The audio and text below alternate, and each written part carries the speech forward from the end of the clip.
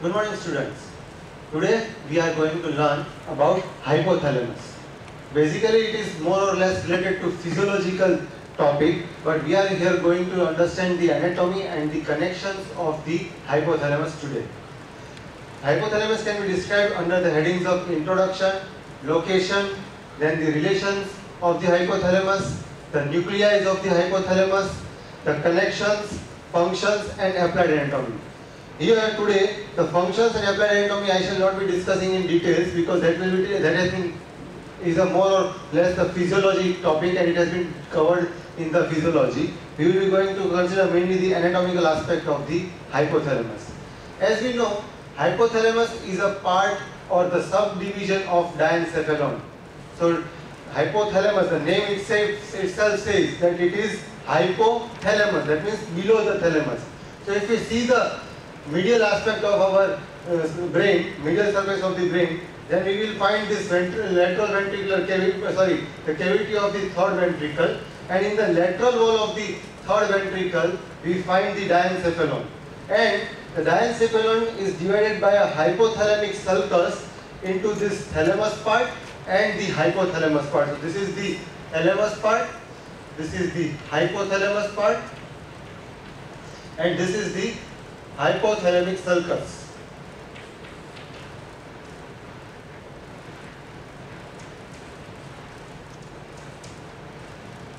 So the hypothalamus lies below the thalamus.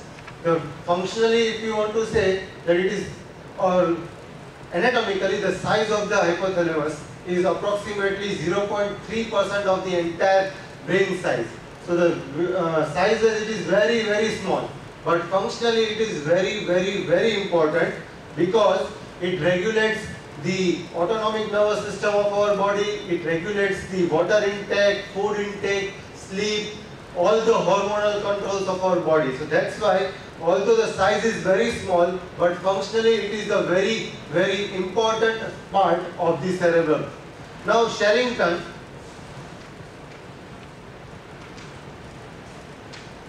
described hypothalamus as the sorry head ganglion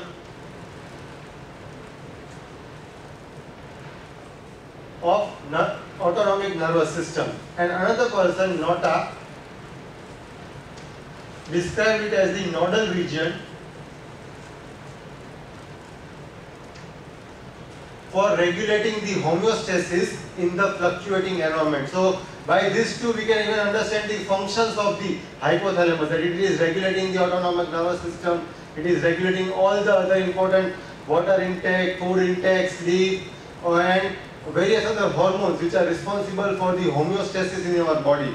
So that is about the introductory part and the location. Now if we see the relation, so this is the hypothalamus. Now if I want to boundary it, so this part is the hypothalamus. So anteriorly, it is related to this line. It is the lamina terminalis.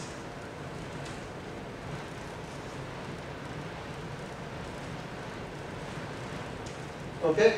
Posteriorly, it is extending up to an imaginary line.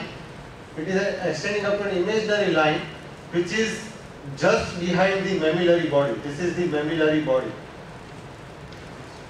So the anterior extent is the lamina terminalis. The posterior extent is an imaginary line, vertical line just behind the mammillary body. Superiorly we know it is related to the thalamus Inferiorly, it is related to the structures of the floor of the uh, third ventricle. So if you go anterior to posterior, it is optic chiasma.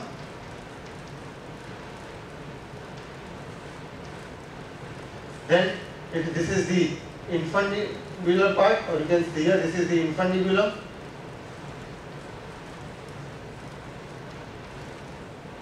Then posteriorly it is the uh, mammillary body and the elevation which is from where this infundibulum starts. Here there is an elevation. So this elevation is called as tuberculum cinereum tuber cinereum it is called as tuber cinereum from where the infundibular stalk of the posterior pituitary gland that starts. So that is called as tuber cinereum and behind it is the mammillary body. And behind it here are the posterior perforated substance. So the floor of the third ventricle is the relation is the inferior relations of the hypothalamus. Laterally, the hypothalamus will be related to the internal capsule as you have already studied in the previous lectures. So that is about the relation. Anteriorly lamina terminalis, posteriorly imaginary line behind the mammillary body. Then superiorly we have got the uh, thalamus, inferiorly we have got the optic chiasma, infundibulum with the tuber cinereum, mammillary body and the posterior perforated substance. Laterally it is the internal capsule and medially it is related with the peri uh, very thin layer of uh, ependyma which will be separating uh, the two uh, it will be common, sorry the medially it will be the cavity of the third ventricle. So that is about the relations of the, the hypothalamus. Now let us see various nuclei of the hypothalamus. For that I need to just I will be expanding this region. Now coming to the nuclei of the hypothalamus but before going to that, we need to uh, see how the hypothalamus can be divided into various zones. Now, there is one fiber that is called as mammillothalamic tract, basically which is passing through the hypothalamus and this mammillothalamic tract divides the hypothalamus into medial zone and the lateral zone. So hypothalamus is basically divided into medial zone and the lateral zone by the mammillothalamic tract. Along with this, there are fibers of fasciculus retroflexus and some fibers of even fornix which are passing in the same plane as the mammillothalamic tract. So these three fibers divides the hypothalamus into medial and the lateral zone. Now medial zone again can be having two parts, the medial proper which some books says as the intermediate and the periventricular zone. So there will be three zones if you want we can consider from medial to lateral it will be periventricular zone, medial zone and the lateral zone. Also if we go from anterior to posterior side in the uh, hypothalamus it is again divided into three regions that is the chiasmaticus region, Second is the tuberal region. Also some books say as the tubero-infundibular region and the mammillary region. So antero-posteriorly, it is having three regions, chiasmatic, the tuberal and the mammillary region and mediolaterally it is having again three regions that is the periventricular, medial and the lateral region. So these nuclei are present in various regions in this manner. Again to mention some of many of the books show it as the preoptic and supraoptic region in case of chiasmatic region. As per Gray's anatomy it is chiasmatic but most of the books refer to it as the preoptic and the supraoptic regions which are a part of the chiasmatic region. So these are the uh, regions anteroposteriorly and the mediolaterally. Now let us see which are the nuclei present and we can remember them in the form of this table. So this is periventricular zone, this is the medial zone and this is lateral zone. This is you can say chiasmatic region. This will be the tuberal region and the mammillary region, also called as the posterior region.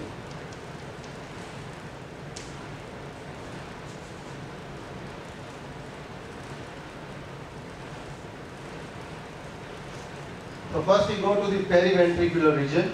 So let us see which are the nuclei present here. In the periventricular region, sorry, there is present in the chiasmatic region from anterior to posterior. In the anterior part, there is presence of the preoptic nuclei, then there will be presence of the suprachiasmatic nuclei and there will be presence of the paraventricular nuclei. So there are three nuclei present in the periventricular zone of the chiasmatic region that is the preoptic, suprachiasmatic and the paraventricular. So if I want to show it here, this is the preoptic nuclei here present. Then Somewhere here is the presence of the small suprachiasmatic nuclei and here there will be presence of the paraventricular nuclei. Okay, so that is about the uh, chiasmatic region. In the tuberal region, there is one nuclei present in the periventricular region, that is the arcuate nuclei, or it is also called as the infundibular nucleus. So this is the infundibulum. Here somewhere, there will be presence of the arcuate nucleus. So this is the infundibular region now, tuberal region. This is the suprachiasmatic region, and here there will be the mammillary region. Similarly, in the mammillary region, we have got the mammillary body, mammillary nucleus, which can be again said as medial and lateral because the medial will be extending over this both the parts, the medial zone as well as the periventricular, and here in the lateral zone also there will be presence of the part of the mammillary nucleus. It is called as the tuberomammillary nucleus. So that is about the medial uh, periventricular zone. Coming to the medial zone, then in the chiasmatic region, we have got the supraoptic nucleus and we have got the anterior nucleus. So here, you will be able to show there will be the supraoptic nucleus and somewhere here very small one, there will be the anterior nucleus.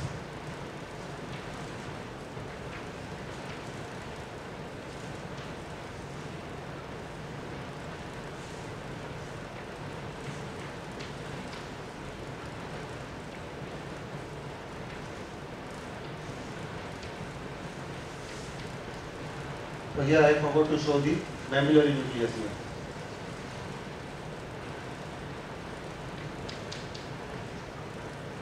Then in the tuberal region we have got two nucleus that is ventromedial nucleus and the dorsomedial nucleus. This is the ventromedial nucleus and this is the dorsomedial nucleus. All this will be medial to the mammillothalamic tract. Okay, so that is the two nuclei, ventromedial and the dorsomedial. And in the medial region here also we will have the same mammillary nucleus present. That is basically the medial mammillary nucleus present here. So that is about the medial zone. Then in the lateral zone it is very easy to remember. The entire lateral zone consists of one single nucleus extending right from the periventricular zone up to this entire uh, lateral posterior part. So it is a single nuclei which will be present deep to all this structure which we have already drawn.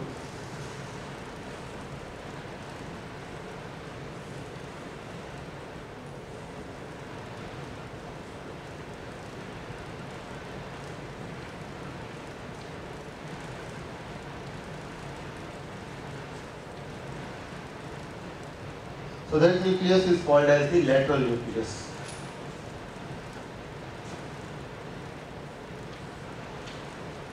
So it is present in the periventricular zone, it is present in the medial zone and it is also present in the mammillary zone.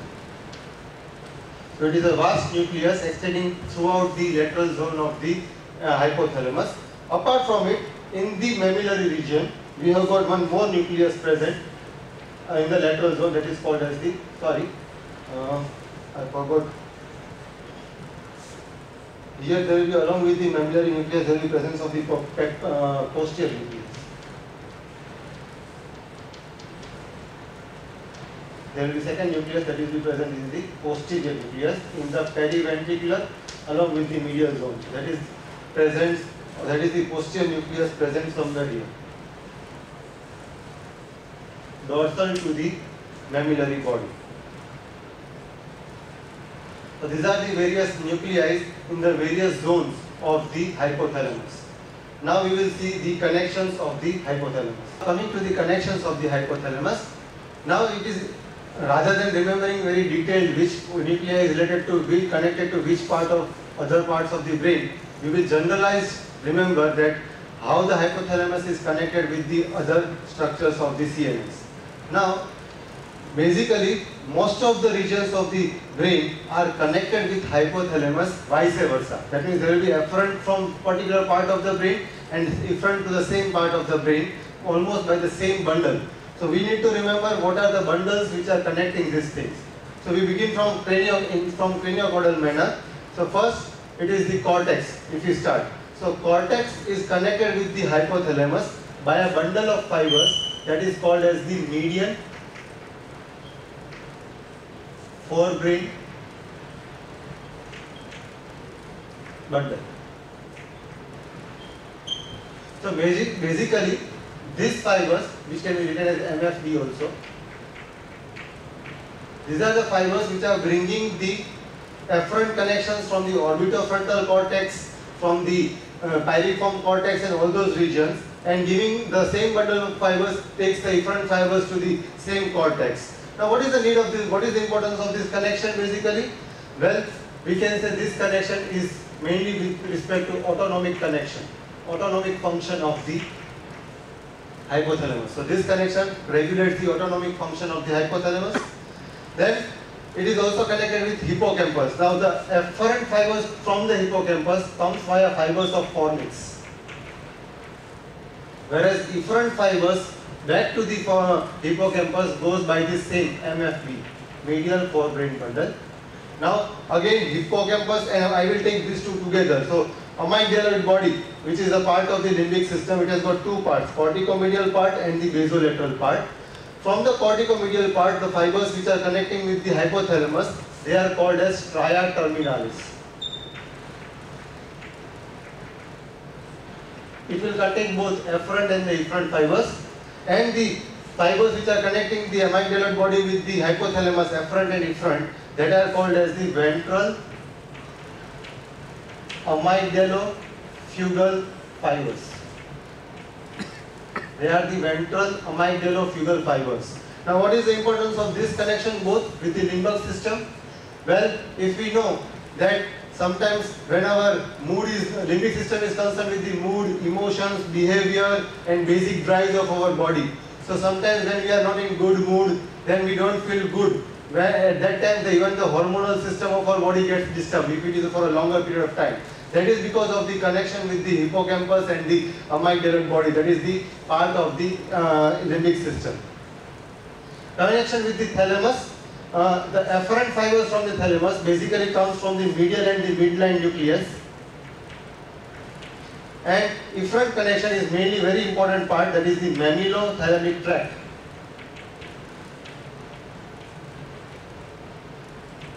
Mammillothalamic tract which is a part of the Papez circuit, is carrying the uh, fibers from the mammillary body to the anterior nucleus of the thalamus.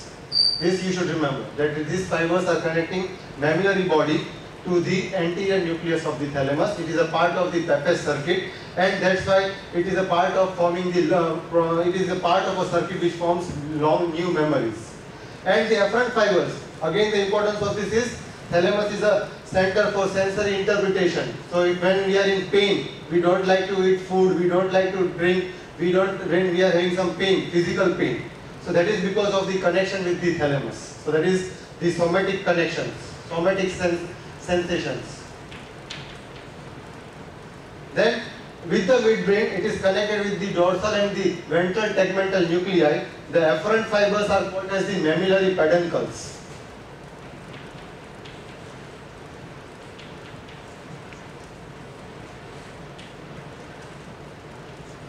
Whereas the efferent fibers to the midbrain, they are called as mammillo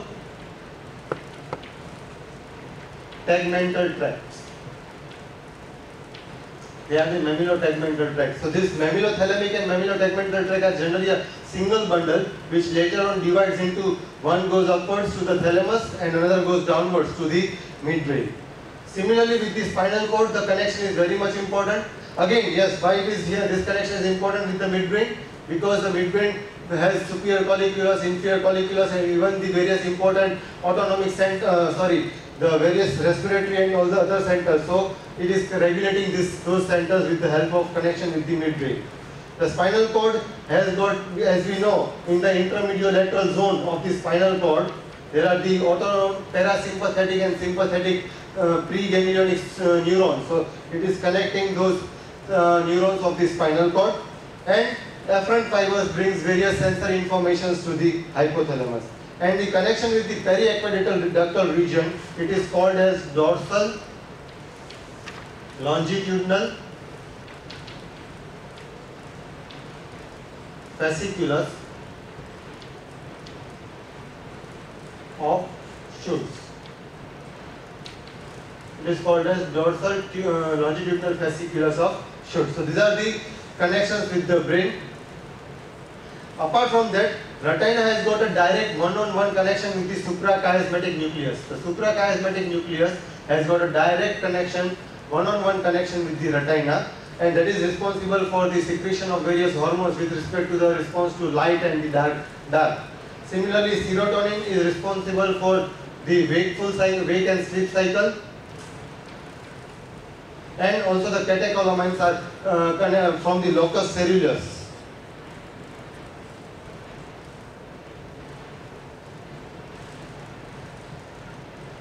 Is connected with the hypothalamus. So these are the major connections. Now if you want to remember that which are the nucleus which will be connected, then wherever you hear the word mammillo, that means there will be the mammillary body connected. The retina is specifically connected with the suprachiasmatic. Generally remaining of majority of the tracts are connected with the preoptic nucleus and the lateral ventricular nucleus. And yes, this catecholamines are specifically connected with supraoptic and the paraventricular nucleus which are responsible for the secretion of ADH and oxytocin. So that is about the connections. Now out of these two, all, now there is one more important connection of the hypothalamus which should always be remembered. That is with the very important pituitary gland.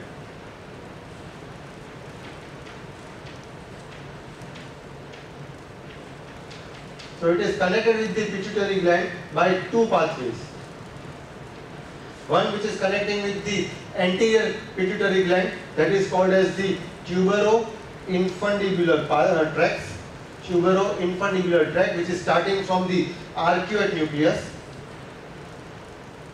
and the fibers which are connecting with the posterior hypothalamus they are called as the hypothalamo-hypophyseal tract which are starting from the supraoptic and the paraventricular nucleus. Now details of these tracts have been covered in the lectures of pituitary gland also and also in the histology. So we are not going in the details of these tracts and the functions of it, but this is how you can simplifiedly remember or even you can write in your exam the how to the connections of the hypothalamus. So that is about the introduction, location, relations, nuclei and the connections of the hypothalamus. Functions as I already said, it is regulating the autonomic nervous system. So the anterior nucleus regulates the uh, parasympathetic, posterior nucleus regulates the sympathetic system. Then it also, it is, there are various nuclei which are acting as the satiety centers. Like ventromedial nucleus acts as a sat- satiety center, whereas the lateral nucleus acts as a hunger center.